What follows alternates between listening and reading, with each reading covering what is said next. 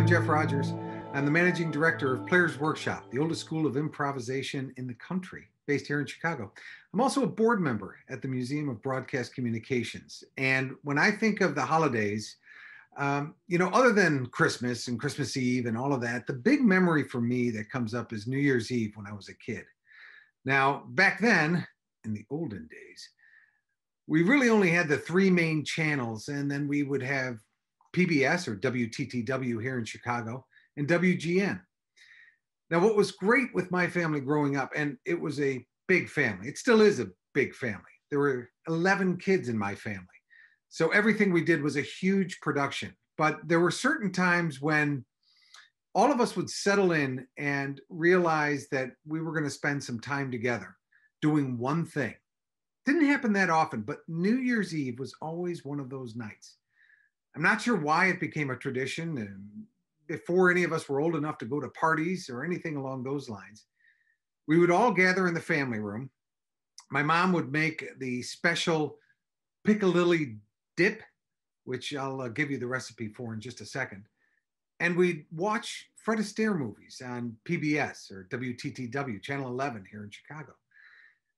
I'm not sure why Fred Astaire and Ginger Rogers became connected to New Year's Eve. Maybe it was the fact that in a lot of their movies, they're wearing a tuxedo and gown, or just the overall lightness of their celebratory movies whatever it was, it stuck.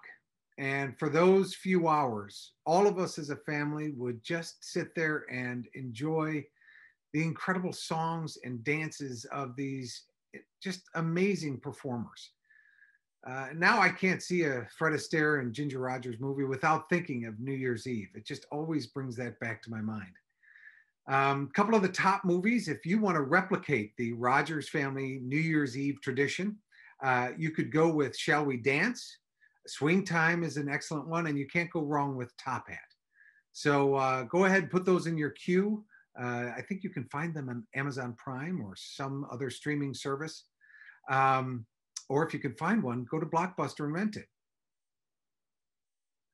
Now, here's the big thing. This is the glue that holds it all together. And by glue, I'm not kidding. It's one ingredient away from actual glue.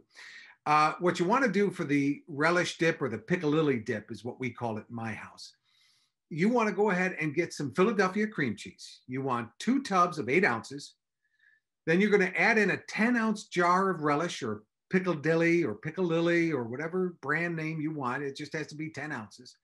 And then you want three tablespoons of milk. Now, the thing is, there's a lot of disagreement about the actual size of the ingredients right? Because it goes back and forth. The truth is, it's kind of like the Force in Star Wars. You'll know it when it's right.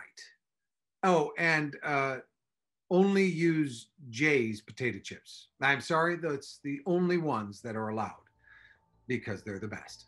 Also, if Jay's is interested in sponsoring anything at the museum, please feel free to reach out and give us a call. So, I hope you enjoy your own traditions at New Year's Eve. You're more than welcome to try the Rogers family tradition. But I hope you have a safe and healthy start to the new year. You can visit us online where we've got some great exhibits and videos. And hopefully soon we'll be able to see you again in person. In the meantime, have a great New Year's Eve. Take care.